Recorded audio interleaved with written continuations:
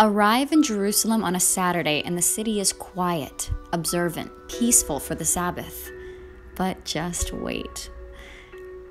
The city comes alive with a clash of culture, religion, sounds, and smells from the call to prayer to the burning of incense. Here are my tips for Jerusalem's Old City.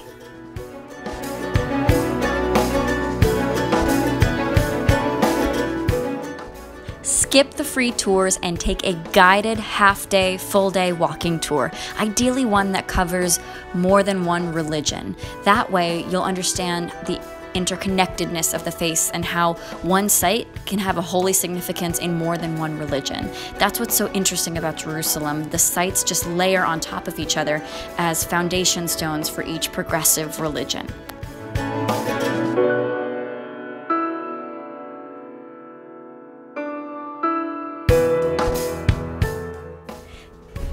Tip number two pack lightweight, long sleeves and long pants, things that are breathable and easy to wear in hot weather, but that fully cover your body. We learned this the hard way at Dome of the Rock, where they insisted we wear long skirts to cover our legs. Enjoy this photo, we didn't really prepare.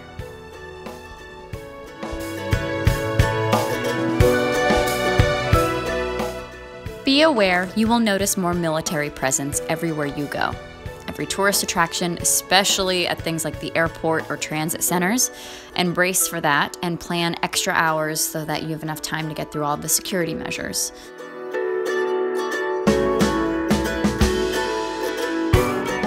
If you want more time at the sites, try to visit them early in the morning or late at night after all the crowds, after the tours, so you get more reflective time there. And when you're there, stop and listen.